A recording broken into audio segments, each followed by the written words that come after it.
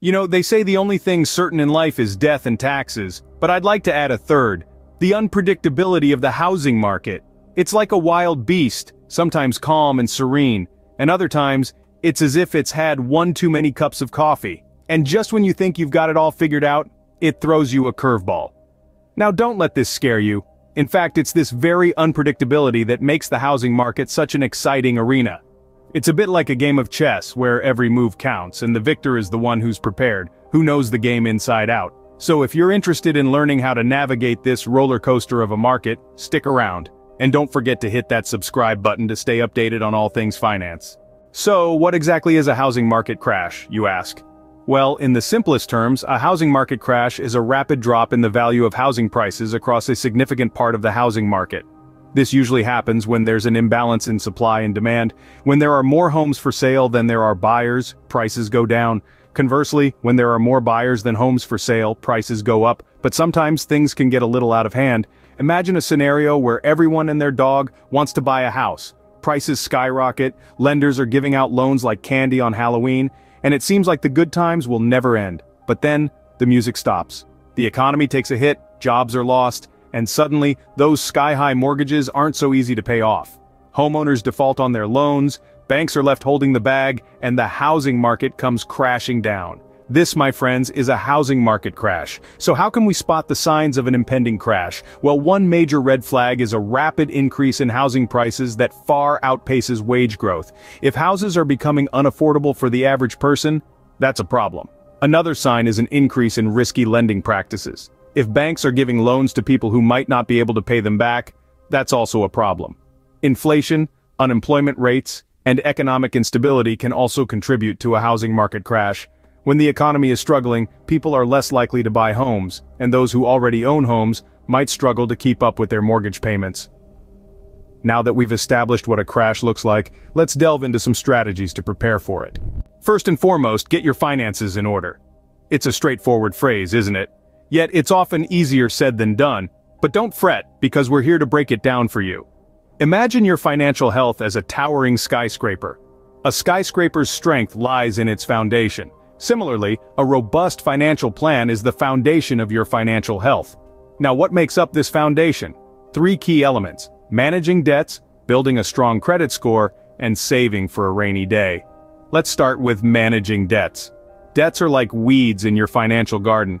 They can grow quickly, overtaking your hard-earned money, but just like weeds, they can be controlled. Consolidate your debts, prioritize them, and establish a repayment plan. This isn't about making them disappear overnight, it's about smart management. Next, let's talk credit score. Think of it as your financial reputation. A high credit score can open doors to better interest rates and more favorable loan terms. So how do you build a strong credit score? Simple. Pay your bills on time, keep your credit card balances low and avoid unnecessary loans. Remember, Rome wasn't built in a day, and neither is your credit score. It takes time, patience, and discipline. Finally, let's discuss savings. Think of savings as your financial umbrella, ready to shield you from the rains of unexpected expenses. Start by setting aside a small portion of your income regularly. It doesn't have to be a large amount. What matters is consistency. Over time these small amounts add up, forming a substantial safety net. So, there you have it, the three pillars of a robust financial foundation, managing debts, building a strong credit score, and saving for a rainy day. It's not rocket science, but it does require commitment and discipline. It's about making small, consistent steps towards a larger goal. Remember, a strong financial foundation can weather any storm. So, start laying your foundation today, because every journey begins with a single step. Next up, let's talk about investing. Now investing might seem like a high-stakes poker game, but it's more akin to a marathon than a sprint.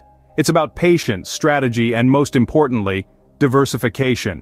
Think of it as not putting all your eggs in one basket, especially when that basket is the housing market, which can be as unpredictable as the weather. So how do you diversify? Simple. Spread your assets across various investment types like stocks, bonds, real estate, and even commodities. This way, even if one sector takes a hit, your overall portfolio can remain stable. It's like having a spotter to catch you during a trapeze act. Now let's move to the subject of long-term investment strategies.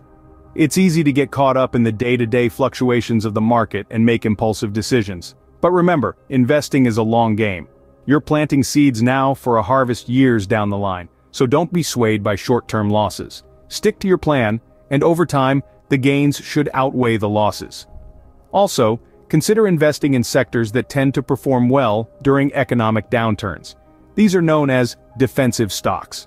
They are companies in industries like utilities, healthcare and consumer goods, which people will always need, regardless of the economy.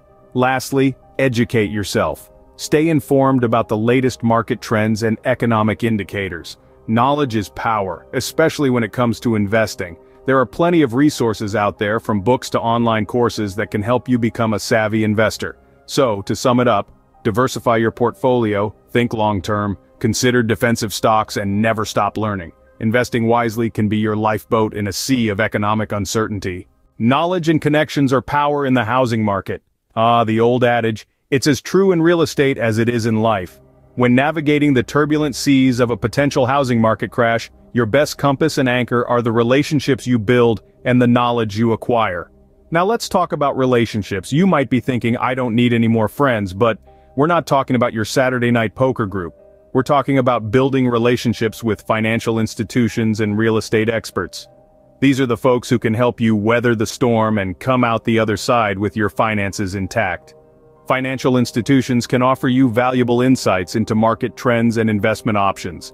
They've got their finger on the pulse of the housing market, and they can guide you in making informed decisions. So, don't be shy. Reach out, ask questions, and build those bridges. As for real estate experts, they're the lighthouse guiding you through the fog. They can help you understand the intricacies of the market, identify potential opportunities, and avoid the pitfalls. A good real estate expert is worth their weight in gold, so seek them out and listen to their wisdom. Next, let's talk about studying the market. This isn't about cramming for an exam the night before, studying the market is about continuous, active learning. It's about keeping an eye on market trends, understanding the factors that influence housing prices, and staying informed about the economic landscape. There are plenty of resources out there, from online articles to market analysis reports, so arm yourself with knowledge. It's your best defense against the unexpected. Remember this, the housing market is like a game of chess. To win, you need to understand the game, know your pieces, and anticipate your opponent's moves. Building relationships and studying the market are your key strategies to come out on top. Keep your friends close, your bankers closer, and the housing market closest. Alright, let's recap what we've learned. We've delved into the importance of getting your financial house in order ahead of a potential housing market crash. This means budgeting wisely, cutting unnecessary expenses, and saving diligently. We've also discussed the significance of learning to invest, and not just in real estate. Diversifying your portfolio can help cushion the blow of a market downturn and potentially even provide opportunities for growth. Furthermore, we've underscored the value of building relationships with financial institutions and real estate professionals. They can offer valuable insights and advice, helping you make informed decisions. And finally, we've highlighted the necessity of studying the market. Understanding trends and patterns in the housing market can give you a leg up when it comes to predicting and preparing for a crash. Remember, preparation is key when it comes to navigating a housing market crash. And don't forget to hit that subscribe button for more financial wisdom.